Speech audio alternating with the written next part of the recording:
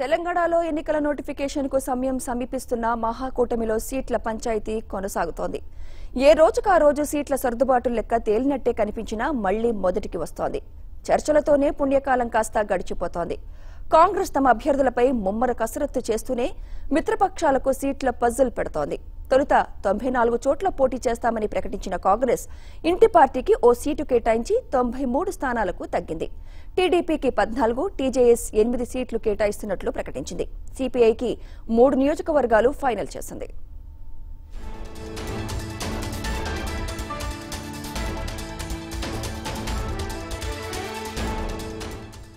సీట్ల పంపకాల్లో పద్నాలుగు స్థానాలపై టీడీపీ హ్యాపీగానే ఉంది. అయితే తమకు బలమైన క్యాడర్ లీడర్ కలిగి తాము పోటీ చేయాలని కోరుకుంటున్న నియోజకవర్గాలను దక్కించుకునేందుకు తమ్ముళ్ళు దృష్టి సారిస్తున్నారు. అటు ఎనిమిది సీట్లకు లెక్క ఫైనల్ చేసిన టీజేఎస్ కూడా సెగ్మెంట్ల కోసం పట్టుపడుతోంది. దీనిపై చర్చించేందుకు సమావేశమైన ఎల్ రమణ కోదండరాం తమ పార్టీల ప్రాధాన్యాలను షేర్ చేసుకున్నారు. అనంతరం ఇద్దరు కలిసి జానారెడ్డితో సమావేశమయ్యారు.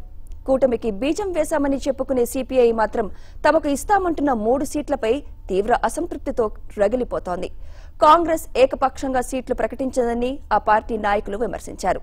ఐదు స్థానాలకు తగ్గేది లేదంటూ బెల్లంపల్లి వైరా కొత్తగూడెం హుస్నాబాద్ మునుగోడు నియోజకవర్గాల పేర్లను ప్రకటించారు.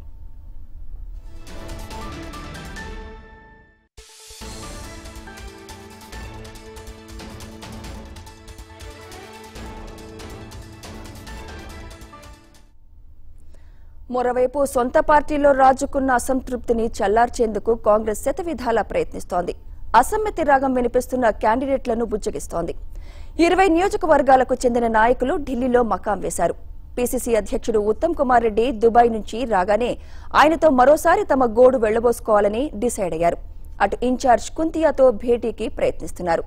ఇన్నాళ్ళు పార్టీని నమ్ముకుని ఉన్న తమకు టికెట్ విషయంలో అన్యాయం చేయొద్దంటూ వేడుకుంటున్నారు.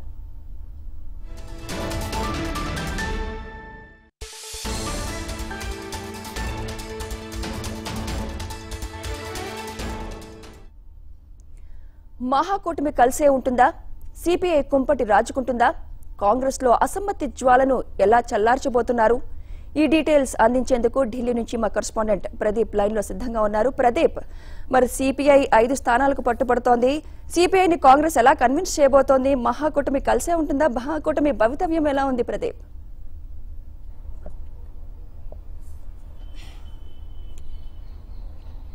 సుమిత్ర కూటమికి సంబంధించి మాత్రం ఇంకా కూడా సందిగ్ధత కొనసాగుతున్న పరిస్థితి కనిపిస్తుంది ఒక రకంగా చెప్పాలంటే కాంగ్రెస్ పార్టీలో కూడా సిపిఐకి ఇవ్వాలి ఇవ్వాలనుకున్న సీట్లపైన ప్రతి చోట కూడా బలమైన కాంగ్రెస్ అభ్యర్థి ఉన్నారన్నది వారు మొదటి నుంచి కూడా చెప్తా ఉన్నారు.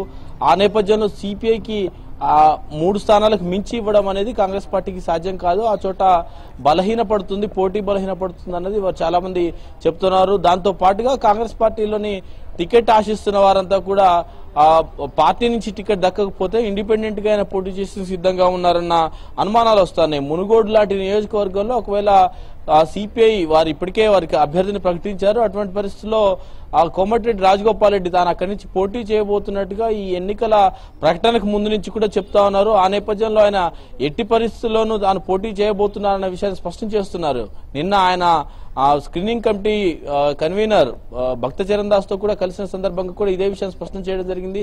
తాను మాత్రం పోటీ చేయడానికి సిద్ధపడి ఉన్నట్టుగా ఆ మేరకు ప్రచారం కూడా చేసుకుంటున్నట్టుగా చెప్పడం జరిగింది. ఈ నేపథ్యంలో సిపిఐ క్యాండిడేట్ కనుక పెడితే అక్కడ రెబల్స్ బయట వచ్చే అవకాశం కనిపిస్తుంది. తద్వారా ప్రతిపక్షం టీఆర్ఎస్ పార్టీ బల బలపడే అవకాశం ఉందన్నది చాలా మంది వారు వ్యక్తం చేస్తున్న అభిప్రాయం. అలాగే అనేక నియోజకవర్గాల్లో కూడా ఇదే పరిస్థితి నెలకొని ఉంది. సిపిఐ ప్రతిపాదించిన ఈ హుస్నాబాద్ స్థానంలో నుంచి కూడా కాంగ్రెస్ పార్టీ అభ్యర్థి ప్రవీణ్ రెడ్డి చాలా బలమైన అభ్యర్థిగా ఉన్నారు. ఆయన గతంలో రెండు వేల తొమ్మిదికి ముందు కూడా చాలా బలమైన అభ్యర్థిగా ఆయన మహాకూటమిలోని ఇదే తెలుగుదేశం కమ్యూనిస్ట్ పార్టీలు కలిసి పోటీ చేసే సందర్భంలో కూడా కాంగ్రెస్ పార్టీ ఏకైక అభ్యర్థిగా ఆయన గెలుచుకొచ్చారు కాబట్టి ఆయన కూడా బలమైన అభ్యర్థిగా ఆ స్థానాన్ని కూడా కోల్పోవడానికి తాము సిద్ధంగా లేమని కాంగ్రెస్ పార్టీ నాయకులు చెప్తున్నారు. స్థానికంగా కూడా కార్యకర్తల నుంచి తీవ్రమైన ఒత్తిడి వస్తుందని ఆ విషయం చెప్తున్నారు. దీంతో పాటుగా కాంగ్రెస్ పార్టీలోనే అంతర్గతంగా చాలా నియోజకవర్గాల్లో సుమారు ఇరవై నియోజకవర్గాల్లో రెండు పార్టీల నుంచి కూడా రెండు వర్గాల నుంచి ఒకవైపు రేవంత్ రెడ్డి వర్గం ఉత్తమ్ కుమార్ రెడ్డి వర్గం రెండు రెండు తరపుల నుంచి కూడా గ- గట్టి పోటీ నెలకొన్న పరిస్థితి కనిపిస్తోంది ఆ చోట్ల తమ అభ్యర్థి అయితే బాగుంటుందన్న ఆ పట్టుదల ఇద్దరు రెండు వైపుల నుంచి కూడా నేతలు వ్య- వ్యక్తం చేస్తున్న నేపథ్యంలో ఇది మరింత పెరిగే అవకాశం కనిపిస్తుంది. ఈ నేపథ్యంలో కాంగ్రెస్ పార్టీ వ్యూహాత్మకంగా ఆ ఇరవై స్థానాల్ని కూడా పెండింగ్లో పెట్టిన పరిస్థితి కనిపిస్తుంది. వాస్తవానికి చెప్పాలంటే దానిపైన కూడా నిర్ణయం తీసుకోవడం కాంగ్రెస్ కేంద్ర ఎన్నికల కమిటీకి పెద్దగా ఇబ్బందికరమైన పరిణామం కాకపోయినప్పటికీ కూడా అక్కడ రెబల్స్ బేడద వస్తుందన్న కోణంలోనే దాన్ని వేచి చూసే ధోరణిలో ఉన్నారు. నోటిఫికేషన్ వచ్చిన తర్వాతనే ఈ ఇరవై నియోజకవర్గాల్లోని పోటీదారుల్లో ఒకరిని ఈలోగా సముదాయించడము రెండో వారి పేర్లని ప్రకటించడం చేసే వ్యూహాత్మకమైన ధోరణి కాంగ్రెస్ పార్టీ అనుసరిస్తున్న పరిస్థితి కనిపిస్తోంది.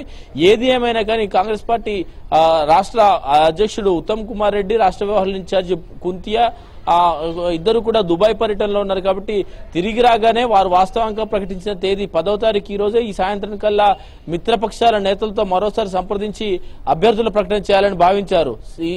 టీజేఎస్కి ఇవ్వజూపిన ఎనిమిది స్థానాలకు సంబంధించి సంఖ్యపరంగా వారు కొంత సంతృప్తిగానే ఉన్నప్పటికీ కూడా స్థానాలకు సంబంధించి ఏ ఏ చోట వస్తే బాగుంటుందన్నది వారు కూడా మరోసారి చర్చ చేస్తున్నట్టు తెలుస్తుంది. ఒక తెలుగుదేశం పార్టీతో మినహా మిగతా రెండు పార్టీలతో కూడా ఇబ్బందికర పరిణామాలు ఉన్న నేపథ్యంలో మరొకసారి ఆ, ఢిల్లీలో అవసరమైతే స్క్రీనింగ్ కమిటీ ముందో లేకపోతే సిఈసి ముందో కాంగ్రెస్ పార్టీ సీనియర్ నేతల ముందో ఈ మిత్రపక్షాల నేతలతో సమావేశం ఏర్పాటు చేసి ఆ మేరకు సర్దుబాటు చేసిన తర్వాత సంయుక్త ప్రకటన ఈ రాత్రికి లేదా రేపు ఉదయం చేసే అవకాశం కనిపిస్తుంది. అలా చేసినా కానీ కాంగ్రెస్ పార్టీ ఇప్పటికే సిద్ధం చేసిన డెబ్బై నాలుగు పేర్లకు మించి చేసే అవకాశం లేదు కాబట్టి ఈ మిత్రపక్షాలకు సంబంధించిన ఆ సీట్ల సర్దుబాటుకు సంబంధించే ఇంకా వ్యవహారం కొలికి రావాల్సిన పరిస్థితి ప్రస్తుతం ఉంది.